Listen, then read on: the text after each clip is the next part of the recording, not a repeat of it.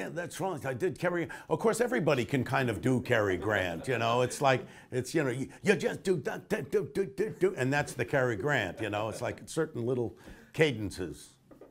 Um, amazing. I was really hoping you do a little Cary Grant for me. Yeah. Well, the only the only impression that I do that's really good is Lee J. Cobb. I do Lee J. Cobb from from uh, 12 Angry Men. It's the best thing I do, uh, and I'll do it for you. And if you have young viewers, and they, they won't know what this is, but if they watch if they watched uh, 12 Angry Men, which by the way, Amy Schumer did an incredible takeoff of 12 Angry Men, which is worth watching. But you can watch the original. Lee J. Cobb. This is Lee J. Cobb in 12 Angry Men. everything. Every single thing says he's guilty. What do you think? I'm an idiot or something?